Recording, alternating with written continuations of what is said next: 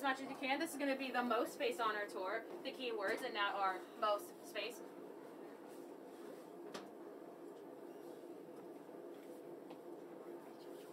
Again, fill in the space as much as you can. I can also have some friends up here on the ramp.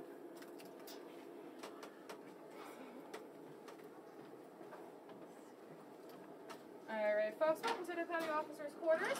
Here at the Museum of Science and Industry, we've made a few accommodations for you guys. So the first thing being is that we have lowered the floors. Currently, I am sitting above the original height of the boat, and as you can see, if I were to stand up straight, which is a rarity in my life, my head is already almost touching the pipes. For context, I am 5'10". Another thing, too, is that I closed a makeshift door. That is not how the German sailors would have entered. They would have entered through the top three hatches that are along the top of the boat. There is one in the galley control room, and there's another one over in the diesel, en- or not diesel engine room. Or yes, the diesel engine room, my bad.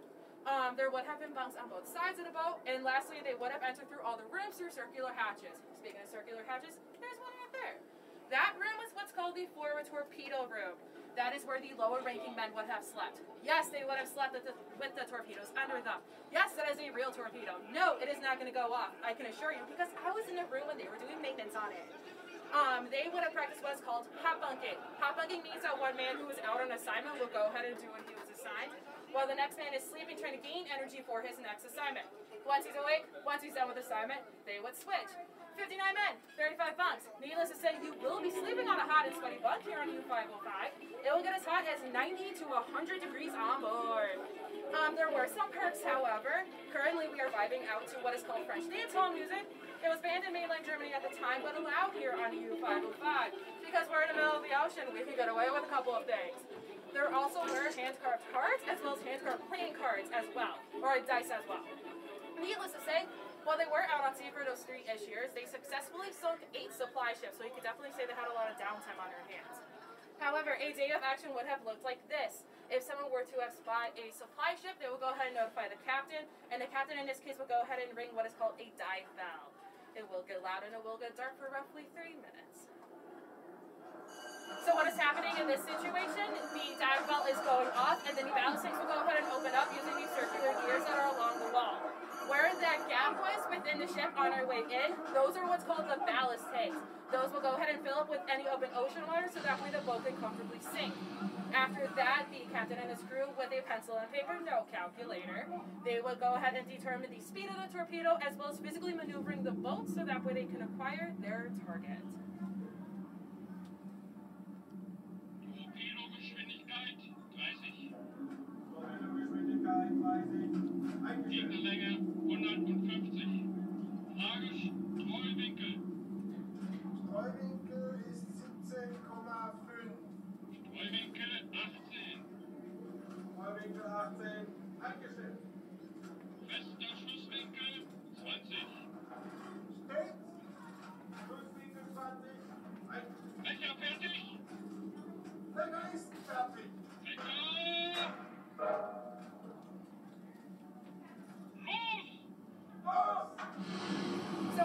Heard, Los was a fire command um, translating over to go or fire away in German, and now we're hearing a stopwatch. Typically, it would take around 14 to 15 seconds for that torpedo to hit its target, and then the German sailors could have heard one of two things. They could have either heard an explosion or silence. If they heard an explosion, which in this case that is what happened in our scenario, that meant that they have successfully sunk the supply ship and they have acquired their target. If they would have heard silence, that meant that they have missed, and their location probably would have been found out shortly after. Now, friends, we're going to make our way from here over to the control room. That is where we will learn about the capture of the boat. As we make our way from here to there, we're going to be passing through a couple of rooms. So the first one being the galley or the kitchen in this case. That is also where one of the three conning towers was at. Though that is where the cook will go ahead and make the meals for all 59 men on board using three hot plates and an oven roughly the size of a Doc Martin shoebox. Next one being the general officer's quarters. In my opinion, not much of a difference, but they had teacups. The next room being on the left is going to be the sound and radio room. That is where any important significant intelligence equipment is going to be kept, such as the Enigma machine, which is how mainland Germany communicated with the sailors and vice versa. Ooh, keep that in mind. I may or may not mention that at the end of my tour today. Ooh. And the last room on the right being the sound in, or not sound and radio, the captain's bunk. It's also to note that Captain Longo was over six foot. The bed size was the same. I personally would be cramped Down here are going to be the electrical batteries that I mentioned earlier. Also keep in mind there will be a tour in front of us as well as behind us. So as I say to my students, move like a zesty pepper with purpose. Once you guys are done taking photos and all that jazz, watch your head, watch your step, follow me over to the control room.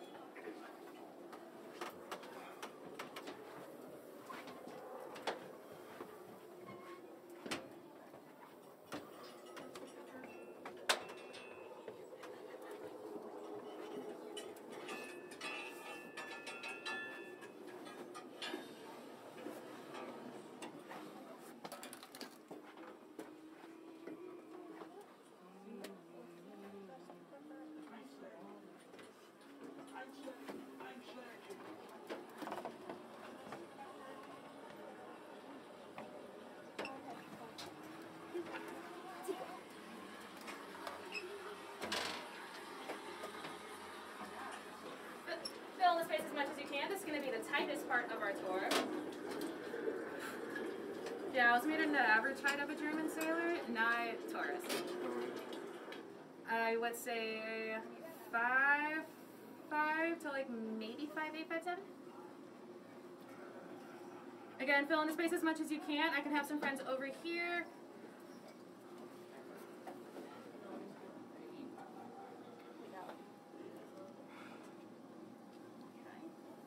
Again, keep filling in, keep filling in.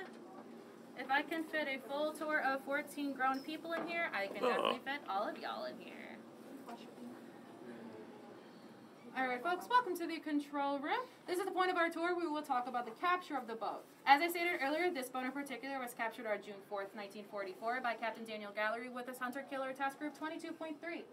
It was on that day that someone had spotted an enemy warcraft. That enemy warcraft being Captain Gallery's ship.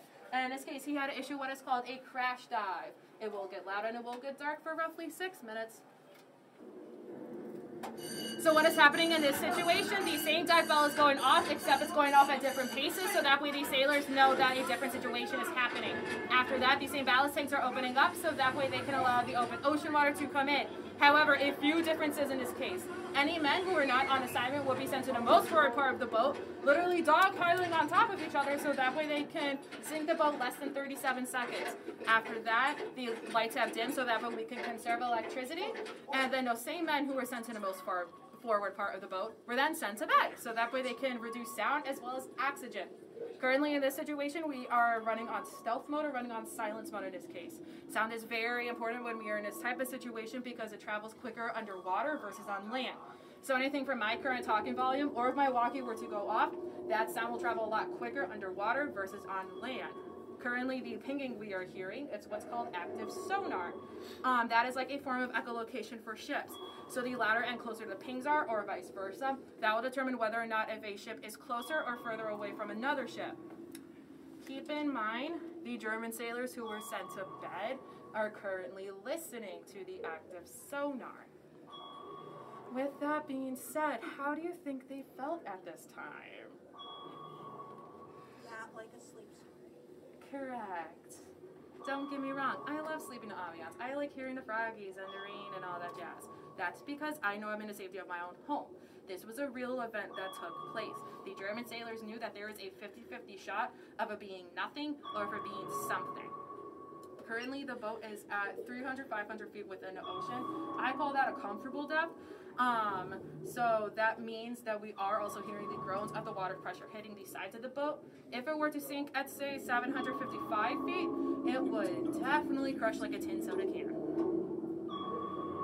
On top of everything I just said, the German sailors also could have heard splashes, which meant a depth charge or an underwater explosion in this case. If they heard splashes, that only meant that they could hold on to something and hope for the best.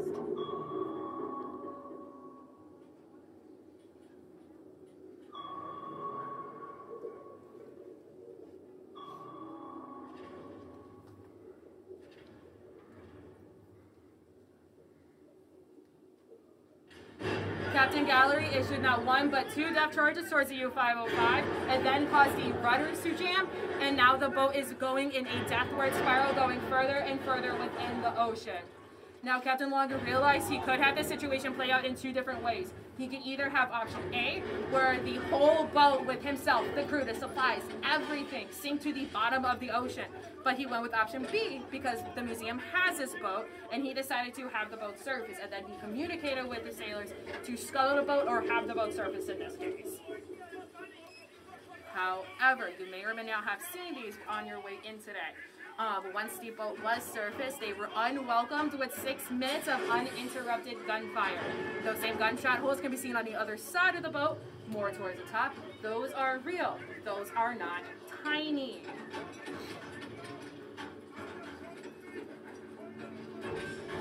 Now, unfortunately, one sailor did die, and Captain Longo was severely injured to the point for the rest of his life he had to walk with a cane. He then told his sailors to abandon ship. While they were abandoning ship, they had opened up the sea strainer, which on my way on our way to the next room, I will go ahead and point that out. This is allowing even more open ocean water to come inside the boat, trying to sink it even faster. Now the German sailors are abandoning ship. The Allied forces are now in. Literally and figuratively, they are going in blind. None of them knew what the inside mechanics of even a German submarine looked like. Maybe Captain Gallery? Either way, they had no idea what they were getting themselves into. They also didn't know that the boat could potentially sink because at this point, open ocean water is everywhere. Or B, potential explosives were also around the boat and the boat could explode. Now, friends, we are done with lights, sounds, and all that jazz. So, congratulations, you made it. Um, we're gonna make our way from here over to the electric motor room. Um, we will be passing through the diesel engine room where, yes, it will smell like burnt crayons because that's the engine still airing out till this day. I'm gonna shimmy my way over to this way. Um, also, keep your phones very close to you. This is the point of our tour where a lot of phones tend to get lost, so please hold on to them very closely.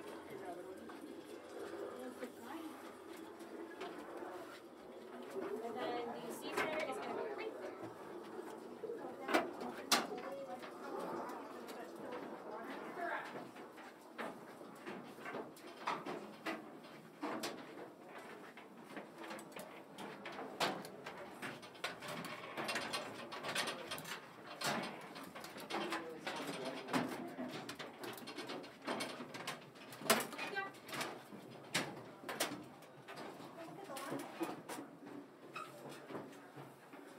And then again, fill in space as much as you can.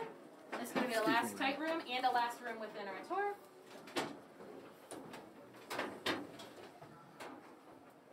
Alright friends, welcome to the electric motor room. At this point in our story, the German sailors have fully abandoned ship and the Allied forces are now in. Now, keep in mind, it's still very much dark. It's still very much spiraling.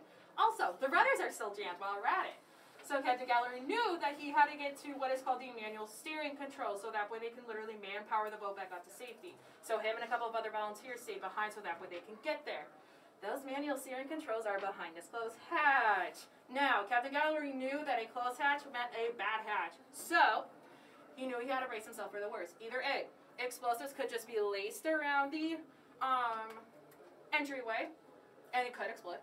Or B, more ocean water could just flood this place even faster.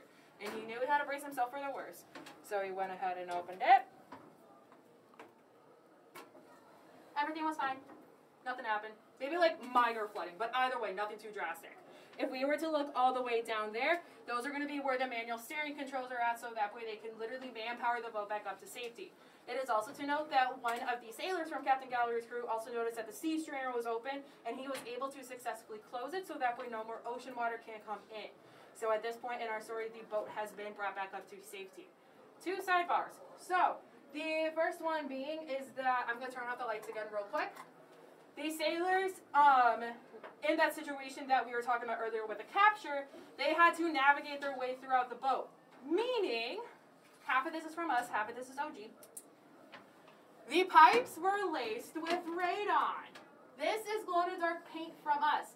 However, if I were to come down and if I shine this in your face, I do apologize. That is OG. That is original. So that way the German sailors can see um, where the dials are at specifically. Because if I were to turn that off, they would have no idea what is going on. You can also see it within the inside of the door. It's more inside here as well as the outside of the door as well. Um, another thing I like to point out, which is my second favorite thing, my first thing being the bullet holes, um, is the lion's head. That is the insignia or the symbol in this case for the first two captains. The first captain had the lion's head and the hatchet. Second captain had the lion's head for whatever reason, longer decided on a seashell. Still trying to figure that out. And now, folks, you are more than welcome to stand where I'm currently standing at at the moment. But um, I'm going to say this once, and I'm going to say it once only. Please don't go inside. Don't physically go inside. Don't get me wrong. It's tempting. I know. I want to go in. But these are the original floors, meaning that they house either torpedoes and or possibly food under it. So now the floors are very unstable to not being able to withhold our weight. So you're more than welcome. Take a look, see. If you were to look to the left, where the checkered floor is at, that's the one of two bathrooms that were on board. We definitely took out the toilet. Definitely took out the toilet. Don't get me wrong. I want to see what a um, cleaning system in the bathroom looks like on board the U505. I would rather smell the burnt crayons than whatever remnants were inside that toilet. With that being said, once you guys are done, you can go ahead, um, make your way to the bottom of the stairs where we can answer the question of how we got this boat, as well as what happened to both Captain Longo's crew and Captain Gallery's crew.